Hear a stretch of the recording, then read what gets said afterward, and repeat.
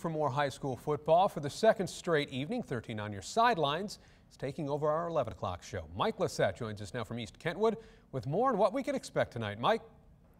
Well, Nick, yesterday we were talking about Mona Shores in the game of the night. This evening, we're taking a look at their biggest rivals. It's Muskegon. They're here in East Kentwood to take on the Falcons. Of course, when you talk about Muskegon, you talk about one of the best teams in the area. In fact, they've got a combined 35 and 4 the last three seasons. But with them, good isn't good enough. And all that matters is that they haven't won the last game. Zero championships since 2017.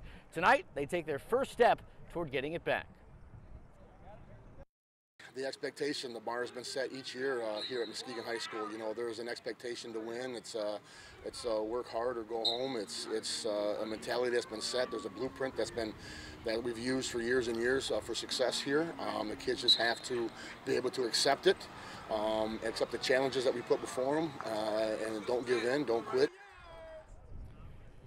Sounds like they got the right attitude. Muskegon, by the way, in this series has won six of the last seven games.